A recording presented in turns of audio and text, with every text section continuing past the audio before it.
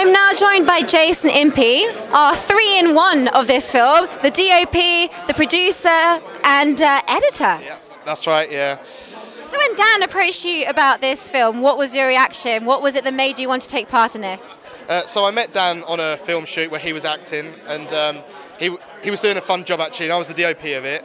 And he had told me that he had made a feature before, and they were looking they were looking for someone to bring up the production a little bit, and he liked what he'd seen me do. And um, when we got talking, he knew I'd done a lot of horror films and a lot of features, and he approached me with a script that was very different. It was, um, I label it a crime drama, um, and I'm quite a fan of stuff like Rise of the Foot Soldier and films like that. And it appealed to me because I'd done a hard-hitting social drama years ago that had done quite well, and I thought this has actually got potential to be similar to that, but actually a bit more to the roots of the, the crime drama I like. So he had me sold and uh, he uh, used my technical ability, really.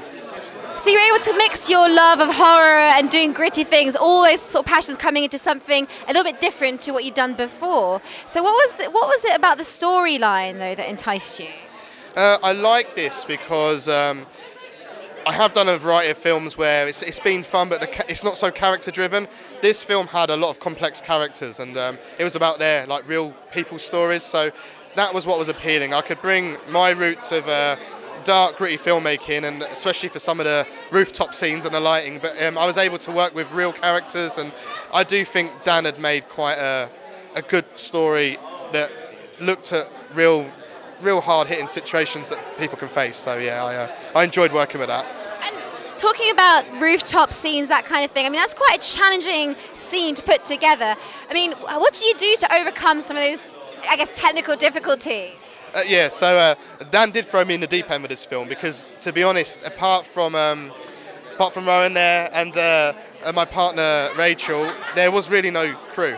Dan, Dan was overseeing it, and I was literally the main crew with a very little bit of help with makeup. So um, I was doing the sound, which was a nightmare because we had very limited kit. I was doing all the, the visual, and he's saying he was throwing me like on a rooftop at night in the middle of the night with no lights, and I have my lights, but we were doing what would be like a 20 person's job multi-million pound film. We're doing it with like a fiver and uh, very little resources. So um, I was I was used my 20 years of experience of uh, DOPing and uh, made the best as I could, and I've amazed myself actually. like, visually, I'm actually very pleased, and Dan said he's very pleased with it. So. That's an amazing achievement. I think sometimes when you've got limitations, that actually creates some of the most creative uh, projects. Don't you find? I do actually. We had to think outside the box because um, there was um, throwing people off of a roof, and that was um, that was insane um, because we literally said we're, we're we had resources, but throwing someone off a roof, I was thinking, how are we going to do that?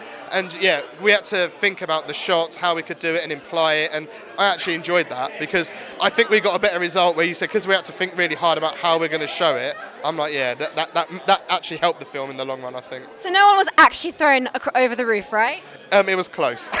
oh my god! I will say my heart was sinking. We had uh, Richard hanging off the roof on a chair, and it was very close.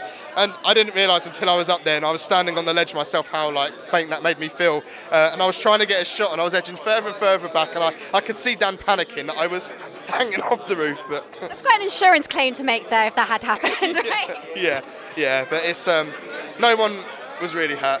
I think Dan took a punch to the face actually. So. Wow. Okay. Well.